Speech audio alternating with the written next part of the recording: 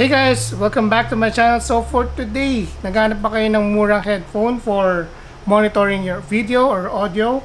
Uh, hindi masyado malaki ang budget nyo. Ito, 1,200 lang.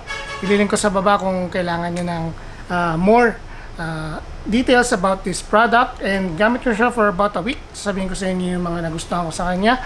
Pros and cons about uh, getting this uh, budget headphone. So, wired siya, hindi siya wireless. So, it's a semi-open back na, na headphone. This is the Samsung SR850. Matagal na model na to. Marami na nag-review nito. At ngayon ko lang na-acquire at sasabihin ko sa inyo kung ano yung experience ko. So, tara, uh, let's deep dive uh, about this headphone. So, let's go. So, let's start with the build quality. No? I think for the price, I think okay lang naman siya. I mean, it's plastic all around. Um, mag ang pinakagustuhan ko kasi itong uh, velour na foam. Uh, malambot sa tenga, pasok sa tenga ko. I mean, iba-iba naman ang sukat ng tenga natin. But for this, uh, sakto lang siya sa head ko. Hindi rin siya ganun kabigatan, magaan lang siya. At uh, nag-adjust naman sa head ko at hindi siya nakaka-stress lalo na pag mahaba-haba yung ini-edit nyo or uh, magdamag kayo nag-edit. I mean, very comfortable naman siya. Hindi tight yung uh, yung clamping niya katulad ng mga nagamit ko before na studio headphones. Uh, this one hindi nyo kailangan ng, ng amp para magamit to. So any device sa cellphone, sa laptop, magagamit nyo siya. So wired nga siya at ang dulo niya is uh, itong 3.5 mm na na jack at meron din tong converter sa I think yung mas malaki dito yung parang pang mic kasama yun sa package. So actually yun lang naman yung kasama sa package niya no? So yung conversion lang nung 3.5 mm jack um, yun lang actually. At uh, overall I think it's a good value. So sabi ko nga kanina no uh, semi open back siya dito. Gilid niya.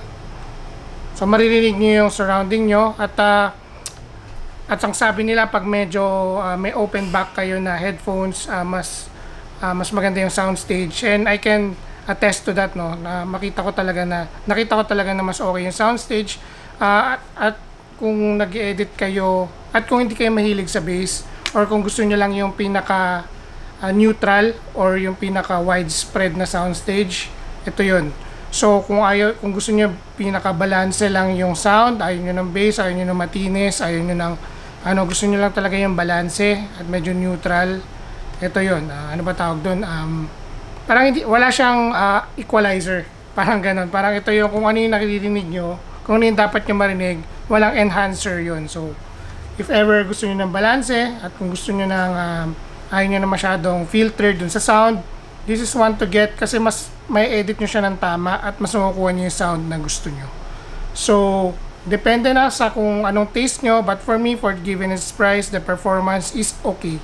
So, ayun, uh, gagamitin ko siya for sound editing, for video editing sa uh, next na mga video ko. And I'm really impressed given the its price, napakamura. Ililink ko rin yan sa baba. So, in conclusion, no, so, if ever naghahanap ka talaga kayo ng murang uh, studio monitor, ay nyo gumastos, or nag-start pa lang kayo, this is a good place to start. This is the, yung Samsung SR850. I think, um, eh, nakagamit na ako ng Audio Technica ng mga N40X, M50X, yun yung mga higher, uh, mid-range na mga studio monitors at hindi siya nagkakalayo. Yung sound stage niya, uh, syempre magkaiba lang yung feel pag sinuot nyo na sa ulo nyo.